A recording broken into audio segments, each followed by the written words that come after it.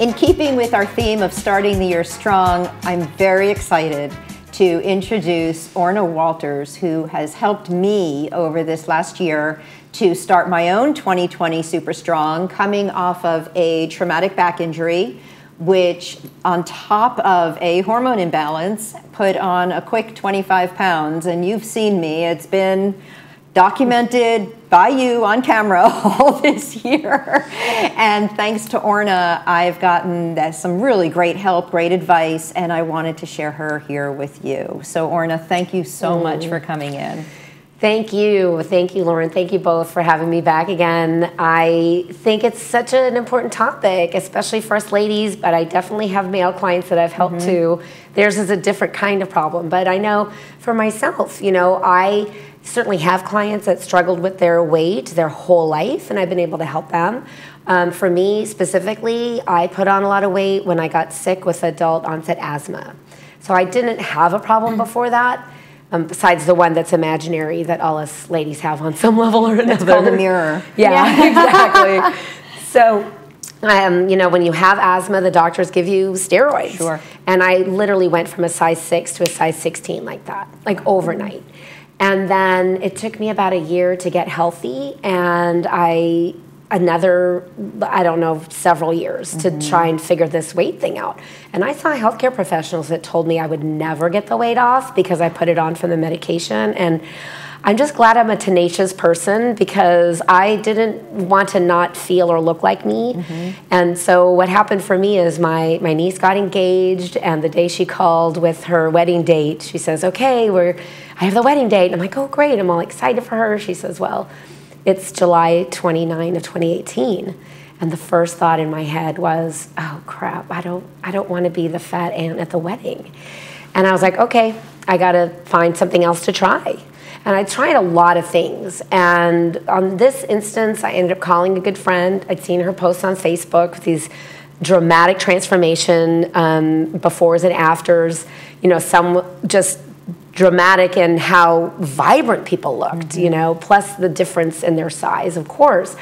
And I knew she was somebody that I could really trust. And I hired her to be my health coach. And I'm so glad that I said yes and gave it a go because I feel finally good yeah. again, and I and feel like me amazing, again. right? And exactly. you look great as well. You look Thank amazing. You. you feel amazing. I know for me, getting back into my clothes, meaning I didn't have to buy a new wardrobe because this is who I was before this whole mess started. And the idea of getting back to that person and feeling strong and feeling good and knowing that I can manage what's going on in my body right now. I think that's that's a lot of what we go through. Now, I love you to pieces. I know you've never had an extra ounce on your fabulous body. I know you know people who have struggled with weight, but you know, to live this life as an image consultant, uh, as an on-air person, mm-hmm. you know, when you think about that level of change where one day you're yesterday you were five pounds less than today and then in four days oh my gosh another 15 pounds and you don't know where it even came from. And it happens for so many reasons. How do you even isolate? Because i worked with a number of professionals for years and we just never you know hit the mark. And the work that we did was so helpful. So i want you to be able to um, you know, share with our viewers some things that can happen for them, even if they just want to lose five pounds after the holidays. Sure, absolutely. And whether you know you are someone who wants to lose that extra five, ten pounds, or somebody who has a hundred plus, it doesn't really matter because each person is unique anyway. Mm-hmm. Every single person has their own unique body type, their own unique. Um, you know lifestyle too because i feel like as a health coach it's my job to really find a, a, and help that specific person find something that's easy for them to incorporate into their lifestyle mm-hmm. because if it's not easy for them to do then it will be very hard to stick to and i don't want it to be hard to stick to right i don't really think of things as far as like a diet or temporary it really is about lifelong health mm-hmm. feeling good in your body and, you know, for me, the other layer of things that was so difficult for me was when I hit perimenopause. And I, I can see they're showing my mm-hmm. before and after. That actually is my heaviest weight in, back in 2013, I hit that perimenopause where I felt like I just had no metabolism on top of the weight that I had gained Right. From the from the steroids and being sick. And so it was really difficult. I mean, I got to the point where I felt like I could just eat celery all day and I would still gain. I mean, I was like, what? And I did go through that two heads of lettuce, and I had to work out two hours a day in order to see any downturn. Mm. And it's just not, number one, it's not healthy, it's not sustainable, and why in the world would you do it?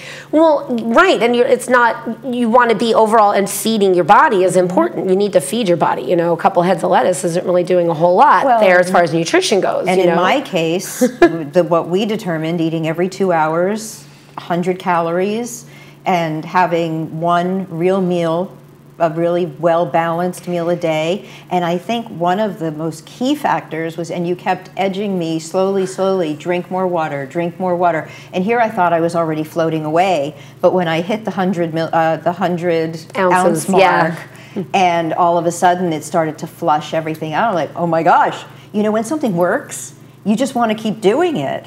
Absolutely. And so that's been kind of fun knowing that just water made such a big difference. So that's one of the things that you did Yeah. that was different is you had at least 100 ounces of water a mm-hmm. day. Oh, oh, that's Yeah. that's a really great like I what I love about that is it's like something you can do proactively Yeah. That makes yeah, it that's interesting. And I would say anybody who's listening to us right now, like maybe they just don't really drink that much water. They don't like to drink water, and maybe that's too far for them. So cut it mm-hmm. in half. Try to go for 40, 50. Mm-hmm. Wherever you are, just add on 10 ounces, then add on mm-hmm. another 10 ounces, then add on another 10 ounces. so what does the extra water do for you? Well- you said flushing something out. Well, I mean, you have to flush your body and hydrate for sure. I mean, 100 ounces is kind of the top mark there. most of us are actually dehydrated. Yeah. We drink caffeine. We Yeah. we travel, you know, polluted air. Mm-hmm. There are so many things in the environment that suck the moisture out of us. Mm-hmm. Our food doesn't necessarily, we're not absorbing the nutrients, mm. and we need more of that hydration. Yeah, and quite frankly, when you are burning stored fat, you need to mm-hmm. flush the fat out, which is another reason why, when you are looking to release that stored fat, you want to drink extra water to d- mm. literally flush it out. And the first week or so, you might feel like you're floating away, you're running to the loo every, mm-hmm. you know, 20 minutes. Your body will adjust. And that's what's mm-hmm. amazing about the body. And, you know, Lauren, the program you're on may not be right for everybody. Right. And so, you know, that's why I want to encourage people to reach out and talk with me. It's mm-hmm. not, you know, no pressure, but I can really evaluate each person. I would want to know what their goals are. I had a really in depth conversation with Lauren, you know, after I was on the show at the beginning of the year. Yeah, um, actually, you year. guys were here the day after my back injury when Oh, things were just at the worst, Yeah. and that that resulted in a toxic download in my whole body. So my body had so much trauma going on for months that even though we started a healthier food program, mm-hmm. my body wouldn't release. It took about mm. four months. So Yeah, it was like beep, beep, beep. I didn't oh. want to because trauma makes the body hold on. I mean, let's look at it this way. I know you can relate to this, right? Mm-hmm. Is our we're wired to survive. We're not wired to thrive. So the body says, "Oh my gosh, there's something extra here." Well, you might have to run from a saber-toothed tiger. I better hold on to it. You know, it mm-hmm. thinks of that extra stuff like a savings account. You know, we all have that friend, you know, who has like 50 cents of every dollar she's ever earned stowed away somewhere. Mm-hmm. And the body's kind of like that. It says, "Oh, this extra stuff is important. I might need it in case of an emergency to survive. And there isn't a switch that tells the body, I have too much extra, it's time to let it go. It doesn't know to do that. And so we prompt the body to do that. And because it is, you know, the beginning of the year, we want everybody to start the year off strong. I do believe being a coach for as many decades as I've been a coach, it's important that people don't try to change everything all at once. I think it's one of the biggest mistakes people make. So when I start working with a client, if they're exercising, we might make changes to it. If they're not exercising at all, I say, don't worry about it. We'll add it in later. And so I really work at um, Um, incremental changes, like mm-hmm. con- small, consistent changes that add up over time, are so much better for the body than trying to change everything all at once. Yeah, that's a so that's super interesting, and I really um, align well with like your philosophy. So like drinking a lot of water, making these changes small. What's another thing that you did that was really helpful? Well, interestingly, I wasn't exercising at the time because mm-hmm. my body was in so much trauma. And you They didn't want me to do anything with mm-hmm. my back injury. One day, probably five months later, um, because I stuck to it and I really, because I felt good, I, could, I knew it was making, it was making um, a good, it was good for me. The I felt good. The non-exercise, Oh, the but the food program that we had me on helped me feel better. It helped me feel more balanced. I was sleeping better. And then one day I woke up and felt like I wanted to exercise. I mm. felt like I wanted to take a walk. So that was a key piece. It's not trying, you know, starting things slow, but it means sometimes not starting things until your body is ready to start them. Because mm-hmm. now, especially since I adopted a dog, mm-hmm. I walk at least 10,000 steps a day. I mean, mm-hmm. she's a walker. Mm-hmm. And I do my normal workouts, mm-hmm. which is a 30 minute workout in home. And everything, you know, does come together, but it didn't come together in the beginning. And Orna and I had a lot of conversation about I'm willing to stay the course because I feel good. Even though I'm not seeing the kinds of results that I wanted to see. Now that's a super interesting thing as well. So you could you could tell in your soul that it was going to work, Yes. even if you didn't see the results on the scale. Totes. So I wasn't seeing results on the scale. Mm-hmm. Occasionally, I would see the results in my clothes. Like I mm-hmm. could put on a pair of pants that I couldn't put on a couple mm-hmm. months before. But it took a while. Mm-hmm. It really took time because my body wasn't all that trauma and it was holding on to everything. Mm-hmm. You know, when your body has trauma and it, the trauma is stored in the fat, mm-hmm. and if it releases it, it goes to the organs, it becomes really dangerous. Yes. So it's almost like I didn't want the fat to release because mm-hmm. then the trauma would go with it. That makes sense. But the inches were still, so the inflammation was coming down, and a mm. lot. I had a traumatic incident, but a lot of people struggle with inflammation mm-hmm. just from their body function, natural function. Oh well, a lot of people. Yeah, I mean, I you know, your yours was a unique case for mm-hmm. sure, and I do think it's important that people are not a slave to some scale. You know, I, the first question, and Lauren will attest to this. The first question I ask my clients when I connect with them is, "How do you feel?" Because that's the most important thing. So she was experiencing changes, mm-hmm. and even though things were going slower in the weight loss on the scale number department, a little slower than she wanted, there were changes that were positive that she was seeing the results from. And it's kind of the backwards of what most people experience because most people out the gate they go with a bang and there's big drops and I'm like don't get attached to that. Mm-hmm. It's going to slow down because it will eventually slow down. So it's not about speed. I want people to really understand it. It's not a race. Mm-hmm. You know the body is really keen on being consistent and so you don't want things to go quickly. Although most people do respond when they make a change mm-hmm. by you know with a guide that knows what they're doing like me where I can guide them, the body tends to make a big change in week 1 and week 2 and then it'll slow down in week 3 and week 4. And that's the that's the average, Well, right? You're a little bit more, right? It's totally a motivator. Yes. But now I can look back 10 months later mm-hmm. and say the 25 pounds is off. I'm mm-hmm. back into my clothes. awesome. I'm working out. I'm feeling good. I'm sleeping better. Those were the things I, I wanted. I couldn't heal without sleeping, and I couldn't sleep. And I mm. couldn't, you know, the food, I wasn't getting nutrition. I, it, all Yeah. of it feeds itself Yeah. it, we forget how all connected we mm-hmm. really are. Mm-hmm. So I really encourage my viewers, you, for anyone you know, anyone I know. um, I've sent plenty of people just to have a conversation with Orna.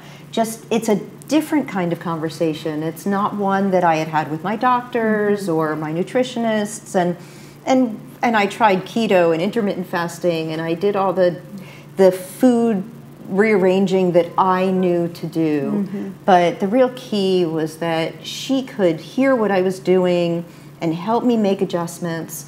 Nothing painful. I was never hungry. I always felt Wow, like I that's was really I was balanced. That's amazing. And that was key. And so, how do our viewers get in touch with you?